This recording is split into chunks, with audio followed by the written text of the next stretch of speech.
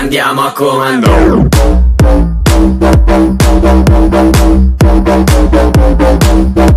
Andiamo a comando.